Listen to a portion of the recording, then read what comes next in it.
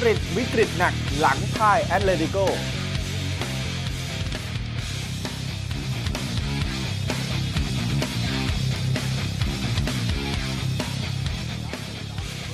โค้ชป๊อปยิ่งใหญ่นำสเปอร์คว้าชัย 1,000 เกม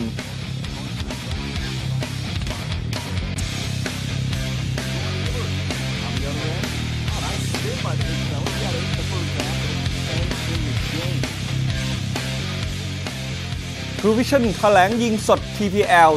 306 แมตช์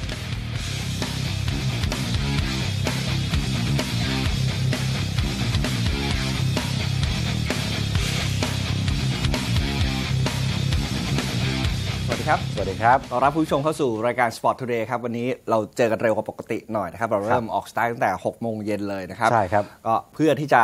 ให้กับแฟนบอลไทย เดี๋ยวอ่ารรอตามเชียร์สโมสรบางกอกกลาส ใช่ครับ ว่าเส้นทางจะเข้าไปสู่รอบสุดท้ายรอบแบ่งกลุ่มใน แชมเปี้ยนลีกได้หรือเปล่าอ่าของก็เป็นรายการ AFC รอบคัดเลือกรอบใช่2รอบต่อไปก็จะเป็นเพลย์ออฟก่อนจะเข้าสู่รอบแบ่งกลุ่มครับผมเดี๋ยวเราครับจะมีรายละเอียดมาให้ติดตามกันนะครับ ส่วนในช่วงแรกเหมือนเดิมนะครับ ไปติดตามประเด็นใหญ่ๆ ในวงการฟุตบอลปรากฏว่ามาดริดกำลังมีส่อเขาเรื่องปัญหาวุ่นวายในทีมเหมือนกันหลังจากฟอร์มตกอย่างหนักในนัดล่าสุด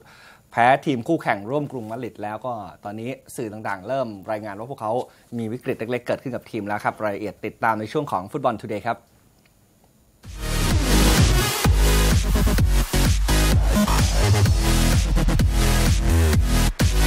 เราเปิดกันด้วยประเด็นที่ฟลอเรนติโนเปเรสครับประธานสโมสรเรอัลมาดริดเดินทางไปเยี่ยมนักเตะถึงสนามฝึกซ้อม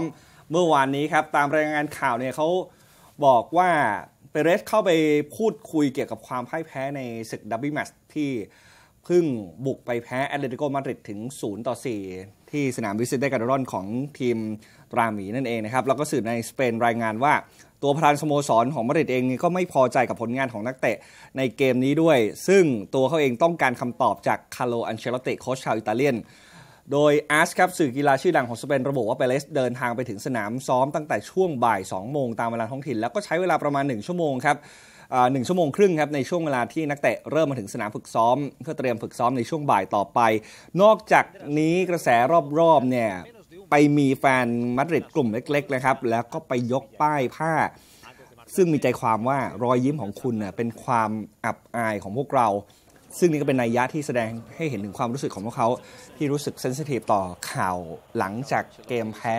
แอตเลติโกในคืนนั้นแล้วไปมีปาร์ตี้ใหญ่เลี้ยงปาร์ตี้ฉลองครบรอบวันเกิด 30 ปีของคริสเตียโนโรนัลโดนะครับ ก็ทำให้แน่นอนย่อมย่อมมีคนที่มองว่าแหมหลังจากความพ่ายแพ้ยับเยินแบบนี้ครับยังจะไปฉลองกันได้สินะครับ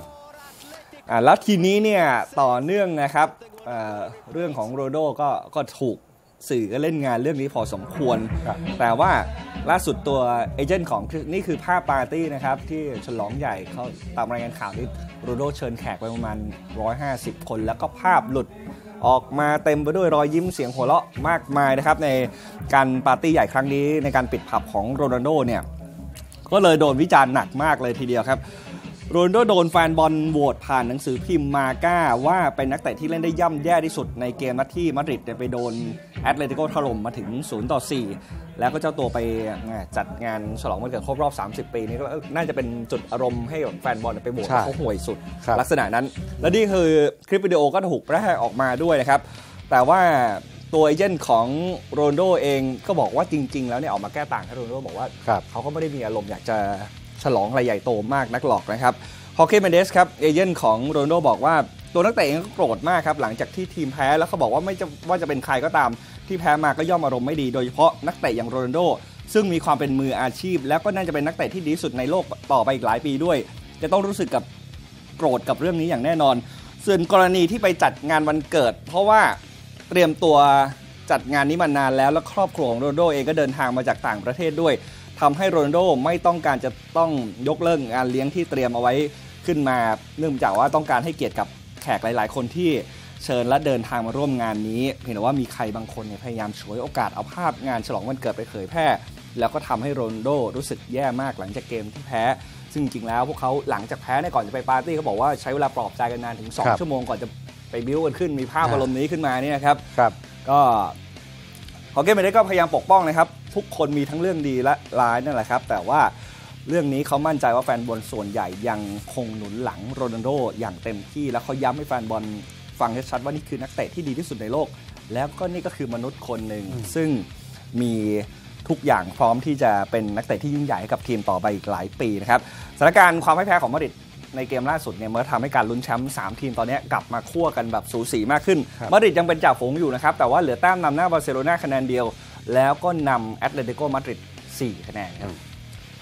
บางครั้งนี่ปาร์ตี้อาจจะวางแผนกันตั้งแต่ก่อนแข่งอยู่แล้วแล้วก็ถ้าชนะแล้วไปปาร์ตี้ก็ไม่มีอะไรเกิดขึ้น แล้วก็เข้าทางสื่อด้วยอ่าเป็นธรรมดาใช่ครับ มันบังเอิญแพ้แล้วไปปาร์ตี้ตามเวลาที่กำหนดอยู่แล้วก็เลยกลายเป็นเรื่องไปอีกแบบนึงนะครับยังอยู่ที่เรื่องของเรอัลมาดริดนะครับที่เป็นประเด็นต่อมาหลังจากที่ ก็แพ้มาล่าสุดมีปาร์ตี้แล้วข่าวร้ายมากกว่านั้นก็คือซัมมี่เคเดรานะครับช่วงหลังๆก็พอมีโอกาสได้ลงสนามอยู่บ้างนะครับต้องไปพักเจ็บเอ็นร้อยไหวถึง 3 สัปดาห์นะครับก็มีปัญหาในตำแหน่งมิดฟิลด์ครับเคดีราในวัย 27 ปี ก็ไปเจ็บจากเกมที่แพ้แอตมาดริด0ต่อ4นี่แหละครับในเกม derby match ล่าสุด ทีมแชมป์สโมสรยุโรปได้ประกาศผ่านหน้าเว็บไซต์อย่างเป็นทางการของสโมสรแล้วนะครับว่ามิดฟิลด์ทีมชาติเยอรมันได้ผ่านการตรวจร่างกายอย่างละเอียด แล้วก็ต้องพักประมาณ 3 สัปดาห์ครับก่อนหน้านี้เรอัลนั้นมีปัญหาตั้งแต่เจ็บยาวอยู่แล้วนะครับไม่ว่าจะเป็นลูก้าโมดริช ในตำแหน่งเดียวกันนะครับฮาเมสโรดริเกซตัวรุกของทีม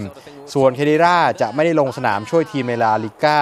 ที่จะพบกับเดปอร์ติโวลาคอรุนญาเอลเช่และบียาร์เรอัลครับรวมไปถึงเกมแชมเปี้ยนส์ลีกที่กำลังจะกลับมาแข่งขันในรอบ 16 ทีมสุดท้ายนัดแรกที่พวกเขาจะพบกับชาลเก้แน่นอนแล้วด้วยครับ อย่างไรก็ตามคาร์ลนเชลติกุนซืออาจจะต้องหันไปใช้บริการของอาเซียอิราแมนดี้นะครับ หรือว่าลูคัสซิลวานักเตะใหม่ชาวบราซิล เพื่อทดแทนการขาดหายไปของมิดฟิลด์อย่างเคดีราครับ ก็ยังโดนวิกฤตในเรื่องนักเตะบาดเจ็บเพิ่มเติมด้วยครับมาดริดก็ช่วงหลังๆก็มีปัญหาในเรื่องเกมรับ และนี่ก็คือมิดฟิลด์ตัวรับอีกคนหนึ่งไปกันที่อิตาลีนะครับ นี่ถึงระดับโค้ชทีมชาติเลยครับ อันโตนิโอ คอนเต้กุนซือทีมชาติอิตาลี มีสิทธิ์ถูกสอบสวนในข้อกล่าวหากรณีไปเกี่ยวกับการพัวพันคดีล้มบอล ซึ่งเบื้องต้นนั้นก็จะมีการดำเนินคดีในชั้นศาลด้วยครับ กฎหมายของอิตาลีครับ โดยอัยการก็จะดำเนินการสอบสวนเบื้องต้นก่อนที่จะมีการตัดสินว่าควรจะ ส่งเรื่องของคอนเต้ไปดำเนินคดีต่อศาลหรือว่าปล่อยให้คำฟ้องนั้นตกไป ซึ่งจากการสอบปากคำเบื้องต้นมีนักเตะอดีตนักเตะและโค้ชรวมทั้งหมด 130 คนตกเป็นผู้ต้องสงสัยคนดังๆนี่หลายคนนะครับ อย่างสเตฟาโน เมารีกัปตันทีมลาซิโอเป็นหนึ่งในนั้นด้วย โดยคอนเต้ก็เป็นหนึ่งในนั้นเหมือนกันนะครับ ก็ถือว่าถ้าในระดับกุนซือตอนนี้ก็ถือว่า big name สุดที่มีชื่อพัวพันด้วย แล้วก็อาจจะทำให้การให้ปากคำล่วงหน้าในกรณีล้มบอลเมื่อสมัยที่เขา ยังคุมทีมเซียนาอยู่ เรื่องนี้เคยเคยถูกยกเป็นประเด็นมาแล้ว เขาเคยโดนสอบสวนแล้ว เจ้าตัวก็เคยโดนแบนจากการคุมทีมมาแล้วในปี 2012 จากกรณีเดียวกัน แต่เจ้าตัวยังคงยืนยันในความบริสุทธิ์ของตนเองอยู่เสมอนะครับ ส่วนโค้ชในลีกเกาโชตอนนี้ก็คือสเตฟานโนโคลันตัวโนกุนซือทีมอัตแลนตาตกเป็นผู้ต้องสงสัยเช่นเดียวกันนะครับเขาไปโดน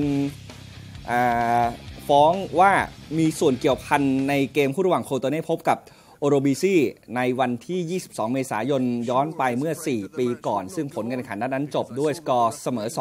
2-2 ขณะเดียวกันสเตฟาโน เมารีครับกัปตันทีมลาซิโอ เป็นนักเตะดังอีกคนที่ถูกกล่าวหาว่า เป็นผู้ชักชวนคนอื่นๆ ให้ร่วมมือในการล้มบอลด้วย ซึ่งเป็นข้อกล่าวหาที่คอนเต้นั้นไม่เกี่ยวข้องในกรณีนี้จริงๆมันมีหลายเคสมากนะครับใช่คนครับเกี่ยวข้องร้อยกว่าคน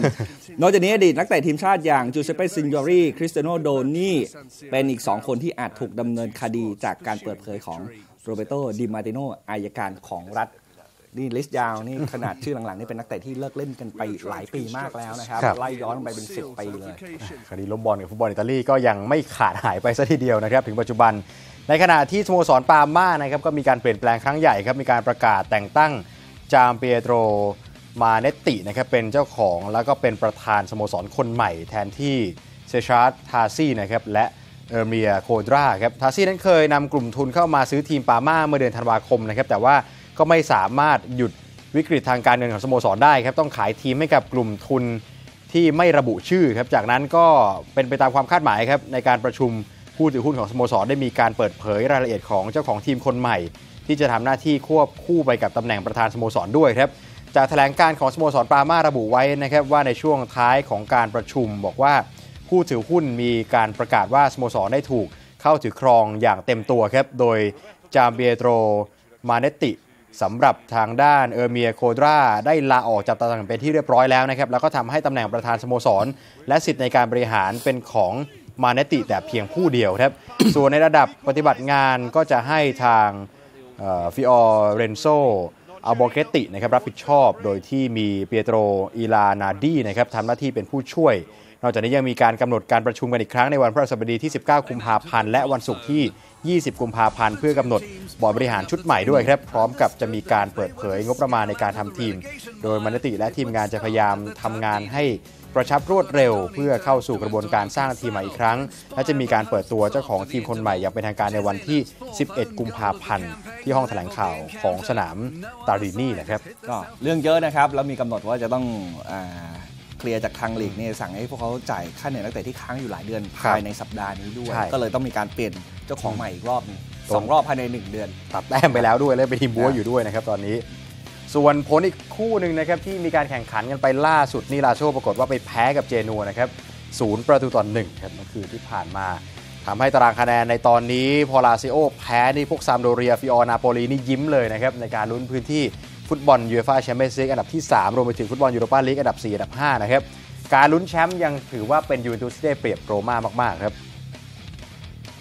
ส่วนท้ายตารางตำแหน่งของปาร์ม่าก็คือเป็นทีมบ๊วยนะครับ แล้วก็มีอยู่ 9 คะแนนเท่านั้นจาก 21 นัด โอกาสที่จะสร้างทีมแล้วไปเริ่มต้นในเซเรียบีใหม่ในฤดูกาลหน้าก็ถือว่ามีสูงทีเดียว นี่โดนหักไปแต้มหนึงด้วยนะคครัรับ ส่วนลาลิกาสเปน Monday night ครับ เอลเช่เอาชนะราโยบาเยกาโนได้ 2-0ทำให้เพิ่มโอกาสในการหนีตกชั้นมากขึ้น ตารางคะแนนครับหลัง ผ่านไป 22 เกมแล้วสำหรับทุกทีมในลาลิกามาดริดจ่าฝูงครับ 54 แต้มตามมาติดติดบาร์เซโลนา53 และแอตเลติโกมาดริดมี 50 แต้ม อันดับ 4 เป็นบาเลนเซีย 5 เป็นเซบียาไปดูท้ายตารางนะครับ อันดับบ๊วยตอนนี้เป็นกรานาดา 18 คะแนนเท่ากับอันดับ 19 กอร์โดบาแล้วก็อันดับ 18 ตอนนี้เป็นเลบันเต้นะครับ มี 19 คะแนน เหนือขึ้นไปเอลเช่ 20 แต้มอเมเรีย 22 แต้ม และรายโย 23 แต้ม ยังอยู่ในข่ายต้องหนีตกชั้นกันยาวๆครับ ความเคลื่อนไหวในเรื่องของฟุตบอลยังมีอีกมากมายให้ติดตามครับไปติดตามได้ในสรุปข่าวฟุตบอลรอบโลกครับ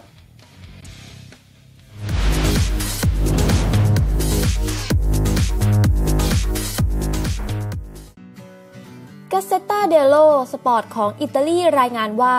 อันเดรียบาร์ซายีกองหลังวัย 33 ปี ลงซ้อมกับยูเวนตุสได้แล้ว หลังจากหายหน้าไปตั้งแต่ต้นฤดูกาลเพราะบาดเจ็บเอ็นร้อยหวาย และอาจมีรายชื่อที่ซุ้มม้านั่งสำรองในเกมเยือนเชเซนาวันอาทิตย์นี้ และส่วนการเป็นตัวจริงน่าจะเป็นเกมเฝ้าบ้านพบอัตแลนตาในอีก 5 วัน นอกจากนี้กาเซตาเชื่อว่ามัสซิมิเลียโนอัลเลกรี จะใส่ชื่อเขาในทะเบียนยูฟาแชมเปี้ยนส์ลีกรอบ 16 ทีมพบดอร์ทมุนด์ด้วยสโมสรบาเลนเซียเปิดเผย ปาโกอัลกาเซต้องพักไม่เกิน 2 สัปดาห์ เนื่องจากได้รับบาดเจ็บหัวเข่าจากเกมพบเอสปันยอนเมื่อวันอาทิตย์ที่ผ่านมา ภายหลังจากเข้ารับการสแกนแล้ว นอกจากนี้เอนโซเปเรสมิดฟิลด์อาร์เจนไตน์ไม่ได้กลับมาเล่นครึ่งหลังในเกมเดียวกัน เนื่องจากมีปัญหาเจ็บเอ็นร้อยหวาย ซึ่งตามรายงานจากมาร์ก้าระบุ เขาเจ็บไม่มากและน่าจะพร้อมสำหรับนัดถัดไป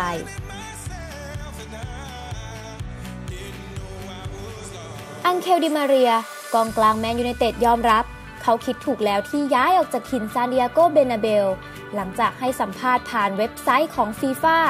โดยกล่าวว่าเขาอิ่มตัวมาจากเรอัลมาดริดกับการคว้าแชมป์ซูเปอร์คัพโกปาเดลเรย์ ยูฟาแชมเปี้ยนส์ลีก และลาลิก้า และแม้ไม่เคยได้ฟุตบอลฟีฟ่าคลับเวิลด์คัพก็นับว่าทำเต็มที่แล้วตลอด 4 ปีกับเรอัลมาดริด และตอนนี้ต้องการทำความฝันให้เป็นจริงกับการเล่นฟุตบอลในอังกฤษ